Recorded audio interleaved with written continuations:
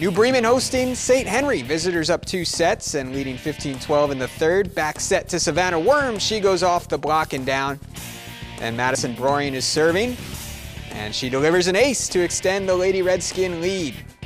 Lady Cards back within five and McKenna Brackman. Cross court set to Devin Heitkamp. Nails it off the St. Henry block. But too much St. Henry in this one. Claudia Heitkamp serving. The freshman gets a little help from the tape.